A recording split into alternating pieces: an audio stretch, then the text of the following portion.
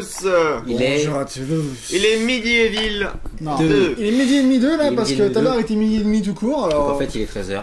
voilà. Voilà. Et donc en gros, euh, nous on se retrouve pour le test bah, donc de midi et demi 2. Et alias euh, Medieval 2. Donc cette fois, euh, le CD n'est pas dans la boîte. Hein. Je vais pas faire le coup à chaque fois. hein. Donc là, il est vraiment dans la paye. Parce qu'on peut pas être DGM deux fois.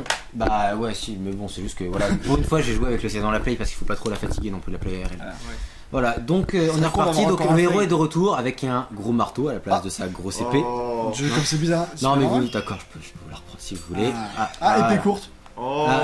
Ça s'appelle épée courte. Ah oui, ah oui, parce qu'il y a des épées bien plus grosses dans le jeu là. hein. Faut pas- Ah bah c'est un jeu. pas croire. J'aime les épées grosses. Et voilà, un jeu de grosse épée, c'est hein. c'est médiéval quoi, voilà. C'est un- c'est jeu qui. Voilà, hein, il est de retour. Alors, Sir Daniel Fortes qui est de retour d'entre les morts euh, euh, pour enfourcher du zombie à la pelle. hein, pour, euh, voilà. Donc euh, là, on joue sur PS3. Je voudrais signaler un bug. Ah bah, bah, il veut pas, il veut pas. il veut pas. Le bug Il fait pas Voilà. bugger. Un bug sonore sur PS3. Écoutez. Ah bah là, ça, ça bug pas. bon bah. C'est un gros fail. C'est un gros fail, c'est pas grave. Euh, moi j'ai ta j'ai- PS3 en, en jouant, voilà, en jouant sur une PS3 Fat, j'ai eu un problème, c'est-à-dire que les cutscenes en fait n'avaient pas de son.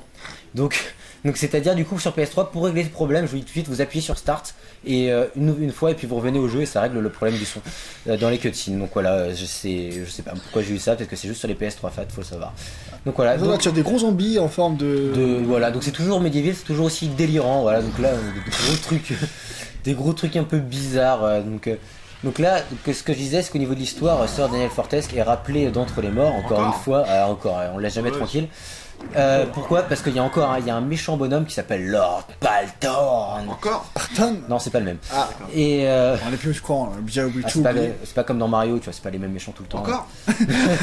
Encore, Encore Mario et, euh, et donc euh, c'est pas que Ah, super on va pouvoir jouer à ça avec ça après Tragique. Donc c'est pas du fail. Donc, donc, euh, ce que je disais, c'est que ce méchant-là a retrouvé. Donc le méchant du 1, il s'appelait Zarok, il avait un manoir pour réveiller un, un manuscrit pour réveiller les morts. et donc ce manuscrit en fait a été retrouvé par Lord Palton. Il a retrouvé que des pages en fait, et donc du coup il a réveillé les morts à son tour. Donc c'est la merde. Et du coup, bah, il faut re- de nouveau bah, réenterrer les morts quoi. Donc c'est pour ça que c'est un pour ça super que- marteau. C'est pour ça que tu l'as mis en- dans le sol là, tu les renterres. Ouais, voilà, t'as tout compris. C'est Ah, exactement ça va en plus. Donc là- non, non, je déconne. non, mais donc, euh, vous voyez voir, euh, déjà le design des ennemis est un peu plus varié que dans le 1, c'est-à-dire que voilà, donc là on Oui, a ça droit va, à c'est des vrai que dans le magiciens, 1, des euh, trucs. C'est c'est un des, c'est genre le troisième ou quatrième niveau du jeu, celui-là. Donc euh, c'est la foire aux monstres en fait. Ah, Et donc, euh, Fête foraine quoi. oui, voilà, la fête foraine, donc euh, donc c'est Ouais. cool. Donc voilà, donc sinon au niveau des, ils ont le jeu est sorti en 2000, donc deux ans après le premier. Mhm. Euh, moi je trouve que niveau graphiquement ça s'est amélioré, mais euh, pour du 2000 je trouve ça toujours vraiment pas au top. hein, faut dire ce qui est. Ouais, clairement. ouais. Euh, là vous, vous le verrez après, il y a une distance d'affichage absolument ridicule. Vraiment, vrai je suis que désolé. Le, le fond il est noir quoi. Le, le- voilà. euh, J'ai rien contre les noirs. Pas. Mais, mais c'est voilà, juste non, que la non, distance. regardez-moi ça, la distance d'affichage. Enfin, par là c'est parce qu'il va y avoir un mini chargement. Pour ça. a-t-il derrière la porte? Voilà, vous allez vite le savoir. Il y a des noirs. Non, pourtant il n'est pas noir. Voilà, regardez-moi cette distance d'affichage, c'est ridicule. Vraiment, Ouais, faut, non, être, faut être c'est- honnête. C'est quand, même- c'est quand même tragique. Alors que Voilà, à l'époque donc- Tomb Raider avait la même distance d'affichage. et- Non, non, Non. beaucoup plus, beaucoup plus. Ah, le Tomorrow 1 peut-être à la limite. Et encore, encore une, une nouveau- une nouveauté, c'est euh, Oh, le vu, pistolet. vu qu'il s'est réveillé plus tard, voilà, c'est que les armes sont plus récentes. Donc on a des flingues, on a. Ah ouais, ça c'est Après, on a, on, a, on a même des mitrailleuses, ce, ce genre de trucs. Quoi, toujours les armes classiques, genre le marteau. Et Mais quand- aussi. Et quand vas-tu se ré- réveiller à l'époque de Modern Warfare? Ah, bah ça, je sais pas, on attend toujours Medieval 3. Donc oui, peut-être que ça sera à ce moment-là. Modern.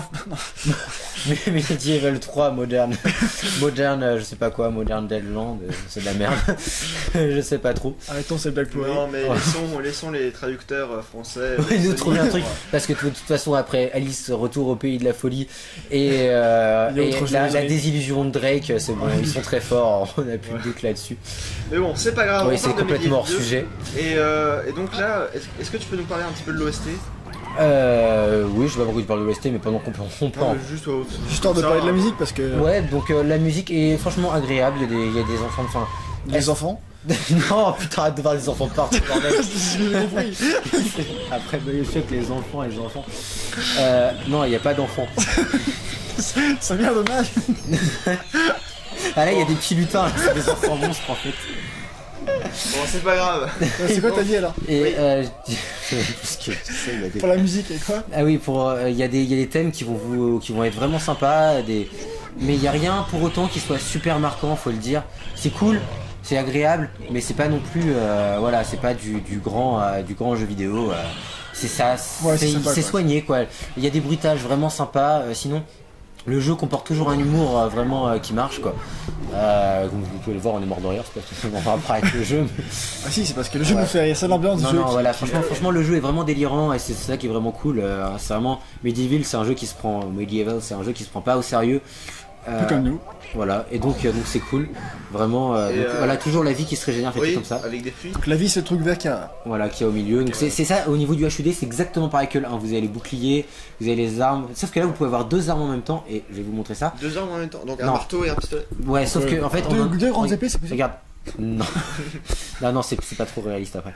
Et euh, tu vois, donc en, fait, en gros, là, on a Ah, un seul donc truc, et d'une pression de L1 et carré, je passe au flingue. Ah ouais, d'accord. Et ça, c'est super pratique, ça manquait au 2, c'est-à-dire qu'au 1. Ouais, dans le GTA, c'est marrant. Ah ouais, d'accord. Et donc, Ouais, euh, donc voilà, donc ça va permettre de, de passer rapidement entre deux armes euh, sans passer par l'inventaire, ce qui était grave relou dans le 1. Euh, vous deviez changer, donc voilà, il y a- là il y a plein d'armes, vous pouvez les voir. euh, Ils sont. Donc là, t'es pas très avancé dans le jeu, quoi. Voilà, là c'est, j'ai dit c'est le début du jeu, on montrera une sauvegarde un peu plus avancée après. Euh, donc voilà, donc sinon dans, au niveau du HUD vous pouvez voir il y a toujours euh, comme, des- comme avant le, euh, le calice des âmes, le calice des âmes qui se remplit, donc toujours de nouvelles 56%, armes, ouais. C'est, de nouvelles, 50%. voilà, de nouvelles armes. que- si on finit le niveau et qu'en récupérant le calice, euh, on gagne de nouvelles armes. Donc euh, plein de petits trucs cool comme ça, c'est fort- fortement sympathique. Donc euh, le calice se remplit en tuant des ennemis. hein. D'accord. Donc, euh, donc voilà, Mais sinon au niveau, au niveau des, des nouveautés... C'est psychédélique. Ah ouais, non mais vraiment les trucs, ils se prennent vraiment, ils ont fait, c'est vraiment délirant, le jeu est vraiment... C'est vraiment, c'est vraiment très sympa en tout cas, c'est très original. Voilà, donc le jeu, euh, vraiment pour ça, il est vraiment cool. Euh, après, euh, techniquement, regardez, enfin, niveau distance d'affichage et tout, c'est pas... Voilà, techniquement, il faut vraiment dire ce qui est. euh, le jeu a du retard pour 2000. euh, Bon voilà, après 2002. on joue, on joue pas pour, le, pour la technique, mais bon, Après, donc, euh, oui, euh, si le jeu a des qualités autres que cette technique, voilà. c'est un, c'est très positif parce que. Donc là voilà, vous avez des mini-boss comme ça, ça c'est vraiment le boss, donc ça c'est cool. Donc là pour le topo du niveau, voilà en gros c'est euh, les, les Impala, là, les petites bestioles que crachées depuis tout à l'heure et que Gag a visiblement envie de faire des choses avec.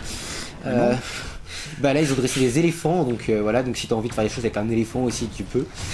Euh, donc des éléphants, risque de faire un petit peu, ouais. des éléphants, il faut que je tue les éléphants parce que sinon les éléphants vont être lâchés sur la ville, ils vont tout détruire.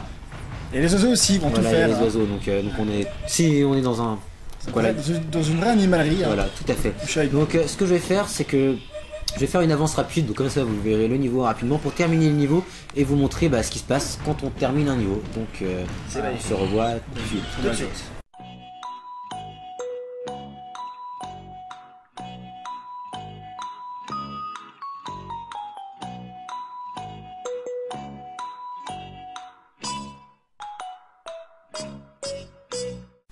Du pré. Ça avance rapide, c'est pas mal. Ouais. Bon alors euh, on a eu un léger, fail. un, un léger fail qui Un deux, mais c'est pas grave. Ouais, ça, ça vous le saurez jamais. Donc, euh, qui fait que je, je me suis retrouvé bloqué contre un boss sans munitions. Et euh, ce qui fait que finalement, bah, j'ai dû charger me- directement à la partie où- que je voulais montrer ensuite. Donc là, normalement, il y a le calice qui aurait dû apparaître là. Du Donc, coup, elle a fini le niveau. voilà, avec une Enfin, nouvelle elle arme. pas- Du coup, non. Oui, quand j'étais censé finir le niveau. Donc là, qu'est-ce que c'est? C'est la map du monde. En fait, c'est euh, le laboratoire du professeur. Le professeur qui sait, c'est le mec qui a ramené Dan à la vie. Il est là. Voilà. Ah oui, d'accord. Donc, donc euh, là, on va le voir. En gros, euh, et ça, c'est, ça peut faire, c'est en gros, euh, c'est là que tu vas choisir tes missions. Donc, euh, c'est, un projecteur, tout simplement. D'accord, ok. Et donc voilà, donc là, c'est ces missions-là que je vais vous montrer. Donc, Encore pour ça être deux cette fois, ça va être super. Et donc voilà, donc là, il va vous faire votre briefing et tout. Euh, donc voilà, au niveau, au niveau de l'histoire, faut savoir quand même qu'elle est un peu plus travaillée que, euh, que dans le 1. Le 1, c'était beaucoup, ouais, c'était basique. En gros, fallait sauver le monde.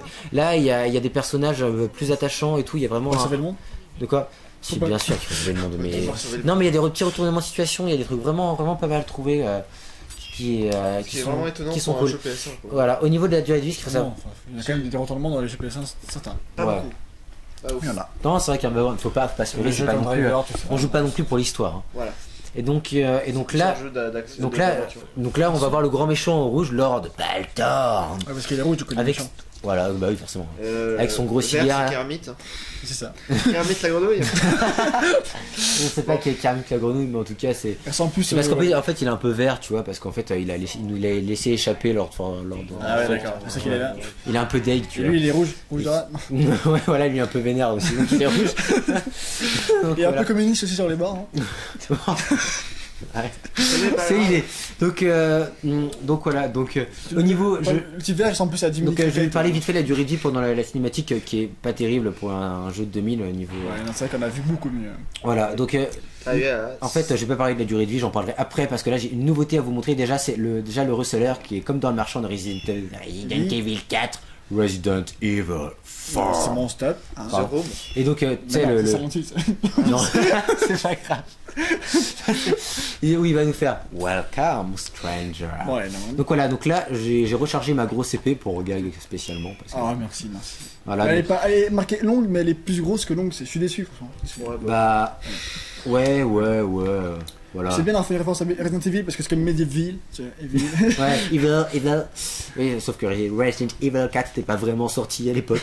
ça pourrait. donc voilà, donc là je vais vous montrer une super nouveauté du jeu qui est Ouais, il y a vraiment. des Qu'est-ce mains. que la main Parce que c'est bien les mains. Bah ouais, bah c'est tu sais, c'est un peu un jeu de pervers, il y a des mains partout tu vois, Ouais, qui non, traînent. Les mains baladeuses. Voilà, les mains baladeuses, bah, c'est. Et tu sais quoi En plus, on peut diriger les mains baladeuses. Et, et tu sais quoi dans la maison qui est là, Il y a des petites filles. c'est parfait. voilà, donc on va aller les voir. Donc la main, non, la, la main qui est superbement animée. Alors, franchement, Franchement- euh, qui se Ouais, balade sur Franchement, le la main est. le. Ouais, Voilà, non, et donc, franchement, donc, vraiment, c'est- une super idée qu'ils ont eu de pouvoir. Dan est un mort vivant, pourquoi ne pas détacher sa tête? C'est vrai Et donc c'est cool, et donc il y a des énigmes et trucs basés, euh, basés euh, là-dessus. Donc on va, là, là, je vais pénétrer dans la maison par une lucarne. Voilà. Et donc là, Non. je vais pénétrer dans la maison, si vous me permettez. Et donc là, en théorie, normalement, si ça ne bug pas, je suis censé aller sonner à la porte Parce avec le truc, parce que d'une pression de L1 et triangle, je passe de la tête au corps en fait. Donc là, je sonne là, le bonhomme vient là, et en théorie, quand je reviens là, il a disparu. Donc, Juste en théorie, mais parce que nous mais- avons, nous avons des problèmes. Voilà, c'est ça de jeu, ce qui n'arrive pas normalement. Je dois récupérer la clé qui est là pour aller la ramener à Dan en fait. Et donc je vais réessayer une nouvelle fois et si ça marche pas, on fera une avance euh, rapide nouvelle parce que bon, euh, c'est un peu emmerdant comme bug pour ainsi dire. Parce que c'est. Non, à la base, c'est censé. Enfin, il y Ouais, a ouais. une stratégie par rapport à ça. Mais du coup, ça sert à rien vu que. Ça sert à rien. Sonner à la porte ne sert plus à rien. Ah, Ah, parce que tu voulais dire que, que les sauts sont appréciés aussi Euh, Ouais, ouais, tu- ouais, du coup, ouais, On voilà. va éviter de parler parce que.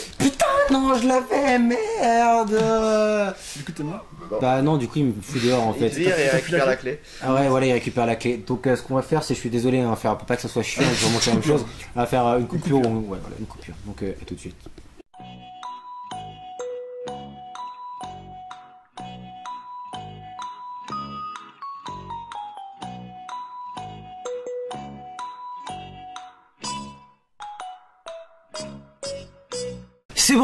C'est bon, c'est bon. God is back C'était bon. insupportable. N'est-ce pas, RL Deux supportables. Ouais, je dirais. Parce que c'est Medieval 2. Ouais, en plus, voilà. Ah, Non, c'est des bon, ça- euh, J'ai- juste essayé pendant euh, 50 minutes euh, de, de- voilà, de, de passer ce putain de bug, euh, c'est pas grave. Voilà, et regardez, donc ce que je voulais dire avant, c'est que les sauts sont. Voilà. voilà, vous voyez les sauts, dans le 1 c'était déjà ça, dans le 2 c'est ça aussi, donc là on va arrêter. Et sinon, euh, qu'est-ce qu'il y a de défaut quand même? La caméra, tu disais, je Euh, crois? ouais, la caméra, donc euh, les petites filles, Ah, euh, les, les, les- eh, petites filles. Petites quoi, c'est les petites filles, c'est pas les petites sœurs Ah non, euh, évite les petites filles parce qu'elles vont choper la clé, je Hop. pense. Non, mais sûr, il y a des trucs bien trouvés, genre faut sortir de la maison là en passant par la fenêtre, du coup, tu vois. Ah ouais, d'accord, Voilà, c'est tu vois, c'est cool. Non, franchement, ça, c'est les phases euh, comme ça sont, sont cool. Donc voilà, après, je récupère. Je... Bug, euh, bugger hormis, c'est sympa. Hop, voilà, donc là, je récupère ma tête et je peux rentrer. Ah, c'est bon, t'as toute ta tête? C'est bon, là j'ai toute ma tête, là, enfin non, plus, plus vraiment quoi. Donc voilà, tout ça pour dire que du coup, là bien sûr, les ennemis vont s'activer. Alors, les caméras la, la caméra. Ouais, la caméra, euh, vous pouvez la bouger avec R1 et R1 comme ça. Donc, Il y a c'est aussi pas le moment. D'accord pas le moment, mais. Ils ont des épées encore plus grosses, t'es Comme- jaloux, gars. Voilà. Bah, je C'est toi qui préfères euh, Oh non, moi ça va. les ennemis à Daniel. De quoi Tu préfères les ennemis à Daniel avec leurs grandes épées. Ah, ouais. Il l'appelle par son petit nom, Daniel. Oui, j'ai j'ai oublié son nom. Fortel. Ah putain, il y a des trucs comme ça aussi, genre où vous- il y a des belles trucs qui vont vous agripper la tête là. Oui, genre il y a des petites filles qui vont vous sauter à la tête. Enfin, c'est. Sur le truc que t'aimes bien, quoi. Bah, à la tête, euh, ça, dé- ça dépend. Euh, pas ça dépend tête. Ouais, bref. Alors, euh, Sur les stars qui sont qui n'ont ni queue ni tête. donc la caméra, euh, Donc la caméra, vous pouvez maintenant la bouger avec le stick droit, sauf que c'est absolument. Voilà, là, de la bouger. Là, regardez, là j'essaie de la bouger avec le stick droit. Voilà. Oh, c'est lent. Ah, c'est. Non, mais c'est surtout que voilà, on va arrêter tout de suite. Hein. C'est vous, mais c'est bon. Là, j'ai des trucs enflammés, voilà, c'est cool. Des effets de flammes sympas. ça Euh, marche bien. donc voilà, donc je pense qu'on a à peu près fait le tour de ce Medieval 2. Et après un gros craquage de nerfs, parce que là, franchement, euh, c'était Ouais, on a vraiment eu un Ah, ouais, ouais. petit petit problème. mais C'est des bugs c'est qui n'en pas- fait pas le jeu, évidemment. Donc euh, ouais voilà complètement. Donc tout ça pour dire que au final quand même euh, le jeu est plutôt.